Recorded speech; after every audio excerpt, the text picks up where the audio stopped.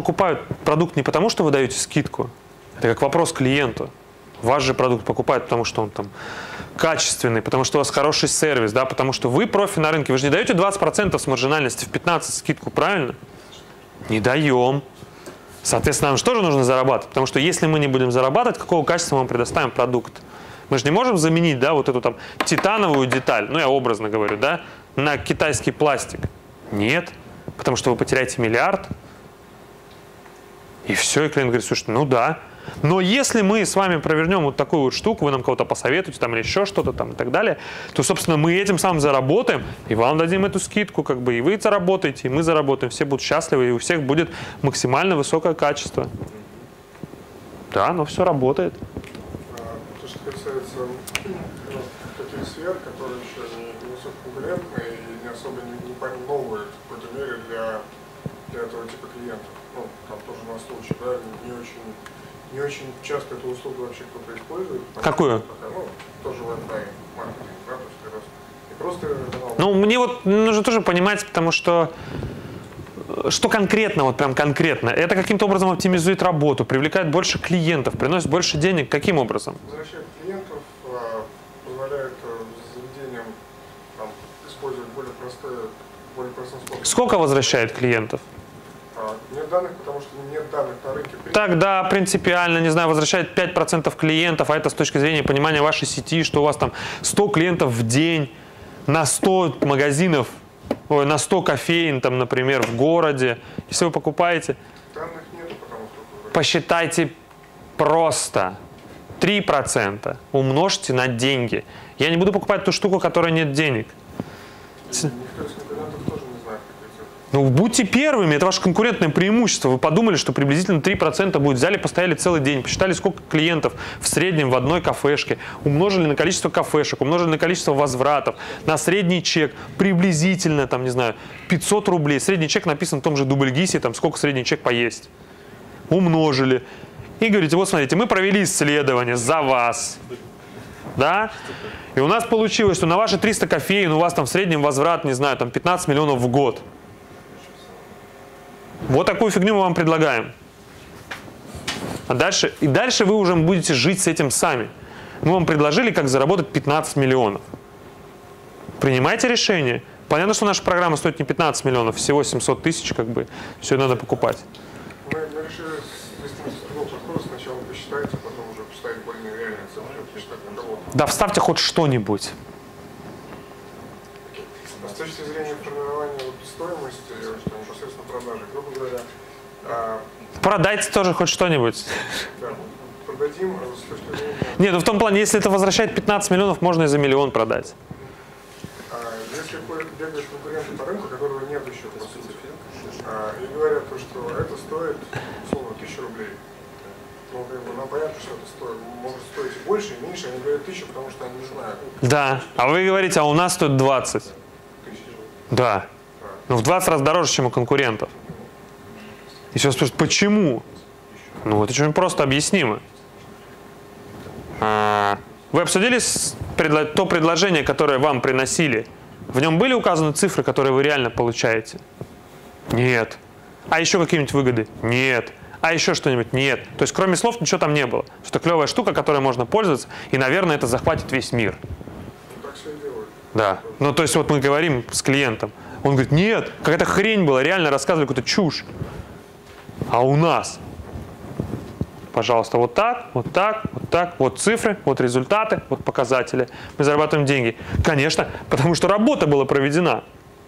Сюда можете купить за 1000 рублей, которые просто выбросить. У вас там этих кофеин, там, не знаю, там 200 штук, умножили на 200, получили 200 тысяч убытка. Если вы покупаете за рубль, и это не приносит прибыли, это рубль убытка. Если вы покупаете за миллион, и это приносит 10 миллионов, это 9 миллионов прибыли. То есть вот и выбор. Человек, который занимается бизнесом, он не будет. Рубль убытка хуже, чем 9 миллионов прибыли. Однозначно. Таков бизнес. Все. Поэтому можно продавать дороже. Дороже всех.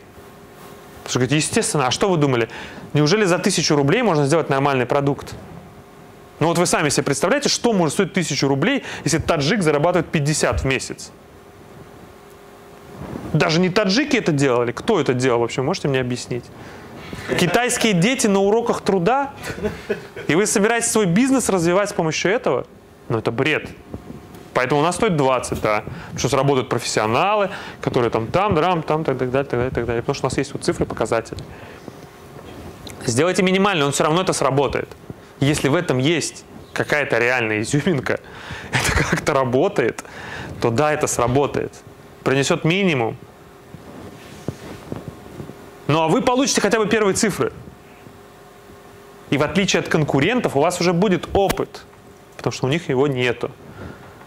Просто ходить один за другими, понимаете, к ним приходят тысячи людей, которые говорят, слушайте, а у нас такая штука есть, а у нас такая штука есть, а у нас такая штука есть, а у нас такая штука есть. Здесь в этом инкубаторе я еще знаю тех, которые знают такие клевые штуки. Две разных делают. И такая штука, и такая, и такая, и такая. А есть какие-нибудь показатели? Нет. Все говорят, ну и идите нафиг. Не продается. А когда приходишь и говоришь, вот деньги, вот показатели, вот сравнение. Все, они говорят, слушай, нормальная тема. Давай, все. Можно разбить. Раз в неделю платеж делать, если вы там сомневаетесь. Да, то есть не 20 тысяч в месяц, а 10 тысяч в неделю, и все как бы и нормально, все довольны. 10 тысяч в неделю лучше, чем 20 в месяц. Естественно. А. Ну, это просто фишка, как продавать. То есть, естественно, нет, конечно, можете купить за месяц, можно вообще купить годовой абонент, вот, за 200. Соответственно, со скидкой. Да, купите на 10, ну, еще дадим скидку.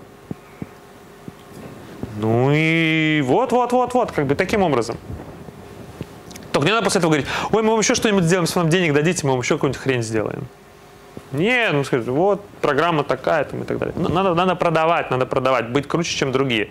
Пока другие сомневаются и пытаются, пытаются, это подход такой, мы не знаем, что сделать, вы нам подскажите, мы вам сделаем, а за то, что вы нас научили, что сделать, вы нам еще и денег дадите.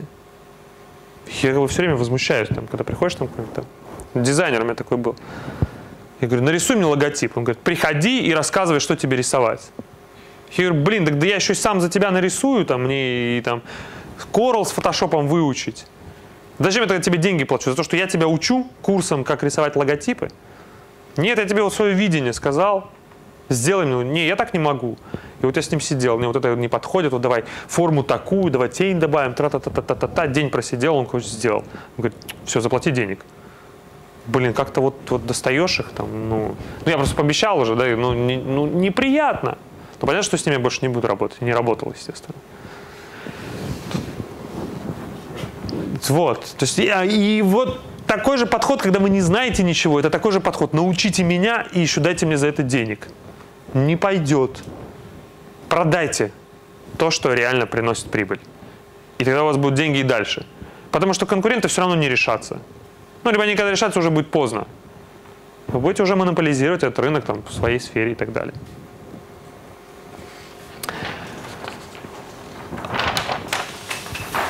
Следующий этап, собственно, не будем углубляться там во все каналы продаж.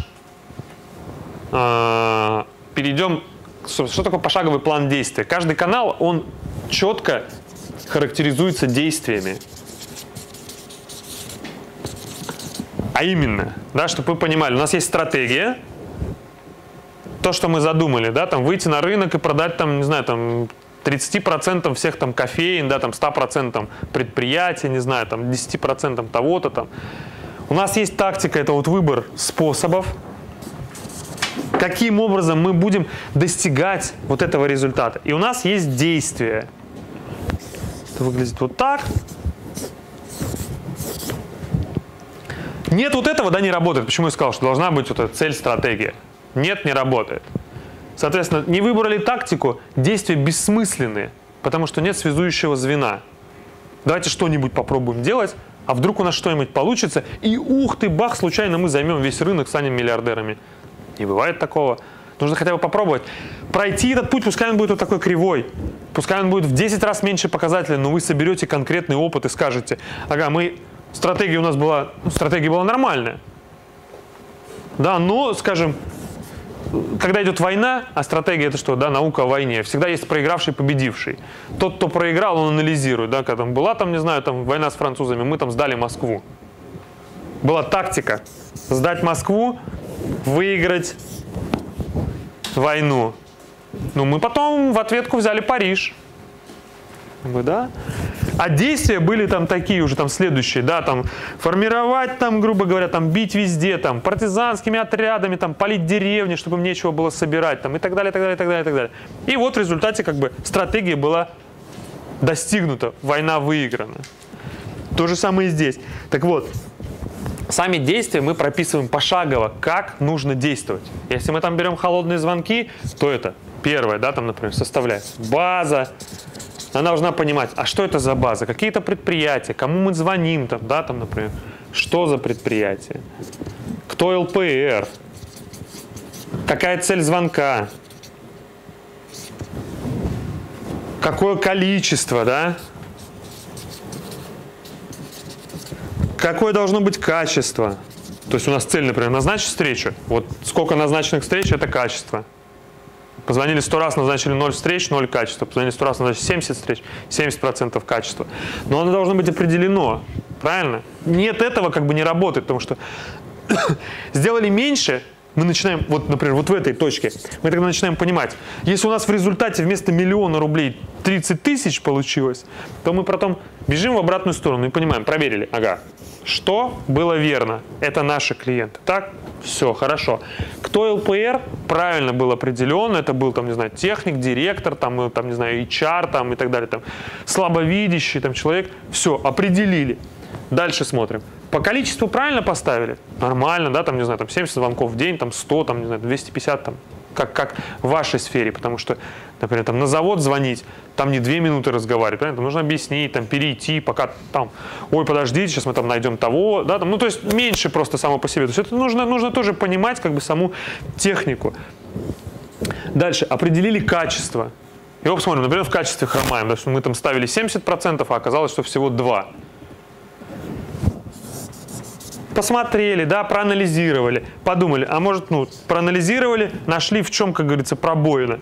Проанализировали тактику. Значит, может, мы используем неправильный канал продаж, потому что он нам приносит там ниже себестоимости. Поменяли тактику, расписали следующий алгоритм действия. Да, может быть, мы время неправильно написали. Время по-разному. Время самого выполнения и время, например, работы. Мы там начали работать, грубо говоря,